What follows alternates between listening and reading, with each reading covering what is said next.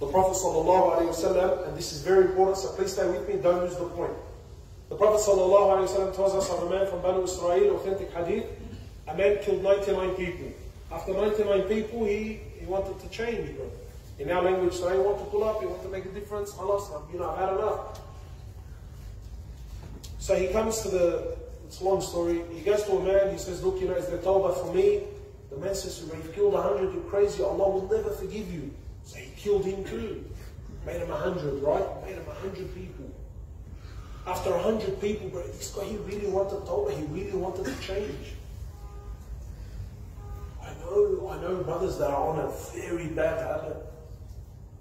Allah, he speaks to me, in the more bro, he's crying from his heart. He's not crying from his eyes anymore, bro. He's actually crying from his heart. Bro, I'm in a dark, dark hole. I need help. And we all want to change. Like to some degree, every one of us wants to make a move, wants to make a change. Allah, I get it, I understand. But it's the equation. We want Allah's love, but we're not prepared to give it up. We're not. So anyway, the man now kills a hundred people, and then now he comes to a scholar. So the people, they sent him to a scholar. When he goes to the alim, he says, look, I've killed a hundred, can Allah forgive me? Does he say?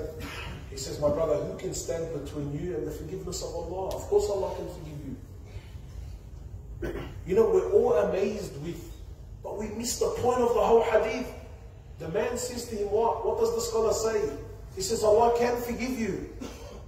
But for you to change, and this is it, this is the whole point. My younger brothers, please, bro, Allah, I speak to you from my heart.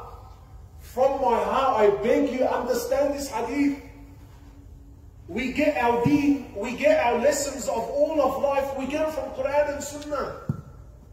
Trust me, there's a lot of people who talk and use nice fancy words, but all of your life, it's in the Quran it's in the Sunnah. Trust me, it's all there. The man really wants to change. He's killed a hundred. And he's asking the scholar, can Allah forgive me? The scholar says, yes, Allah can forgive you. But, for you to change, you have to leave your town. There's too much evil there. That's our problem, brother. I really want to change. That Habibi, your mate, he's no good. My brother, we've been mates for 10 years. What do you want me to do? That's the problem. You're not prepared to break up from your mate. You're not prepared to leave the air. And you know, sometimes it may be an extreme thing. Sometimes in order to save your soul, to save your deen, you may have to leave town. Habibi, leave it. By Allah, it's nothing but an area code. If it means saving your soul, do it. But that's the problem. Wallah, I really want to change, but what do you want me to do? This is all I know. I know brothers that are doing haram. Yeah, he's buying and selling haram. He's on haram. But he doesn't, brother, Wallah, I know it's haram. And I know that all the income is haram. And I know I'm feeding my kids haram. But if I give it up today, what do I do tomorrow morning? It's all I know. That's the thing. You can't come to Allah with baggage. Brother, Allah, I love you and I love deen. Tell me what the talks are. Well, brother, we do talks on Tuesday. Ah, I can't do Tuesday, man. Why not? Well, brother, we've been playing at Abani for the last 10 years. You think it's funny? I genuinely get that from people. Well, brother, we have our family, you know, we have our family, uh, family, family barbecues on Tuesday, Sheikh. What, do you? But brother, like, like, I don't understand. What do you want? Do you want the whole world and the whole deen and Allah and His Prophet? What? Do you want all this to change a mood to cater for you?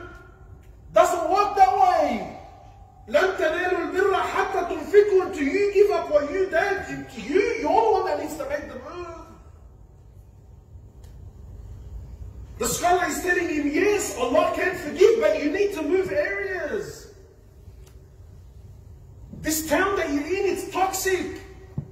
Wherever you look, it's calling you to haram. But I don't understand, brother, I want to change, I want to, you know. And then he wakes up in the morning and the first thing he does is he's looking at his phone. Habibi, wallah, when you're sincere of changing, girls from 10 years ago will start contacting you. Shaitan is working around the clock.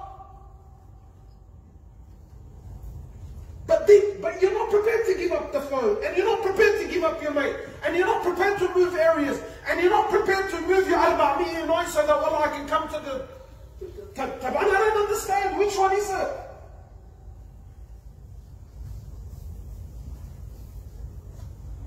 Which one is it?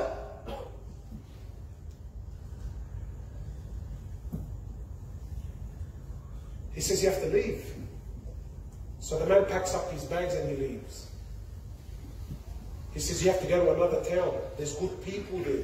They, they're going to guide you to good things. So the man packs up, he leaves. On the way, on the way he dies.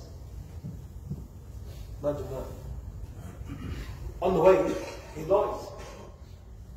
So the angels of rahmah come down and the angels of punishment come down. And there's a dispute between the angels who's going to take it. The angels of rahmah said, This man made tawbah. The angels of punishment said, No, no, he was on the way to tawbah. This man's killed a hundred people.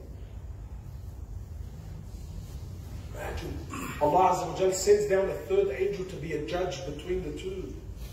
And says to the angels, measure the distance of the earth. If this man is closer to the town of sin, yani because he was going to the town of good, he says, measure the distance. If he's closer to the town of sin, then let the angels of punishment take him. But if he's closer to the town of good, then let the angels of rahmah take him.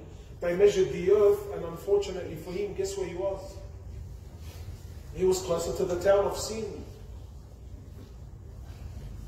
So Allah Azza wa Jal orders the earth to change its dimensions.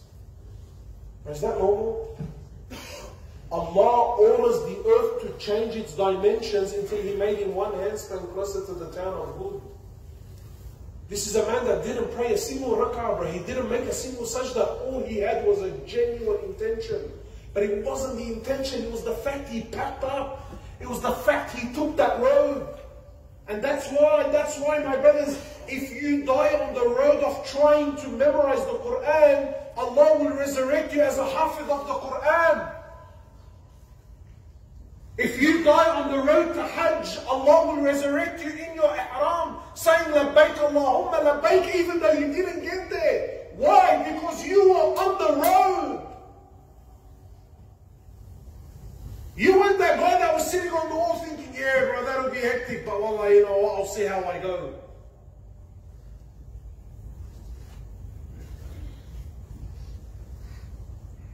We ask Allah to make us of those who build a relationship with Him.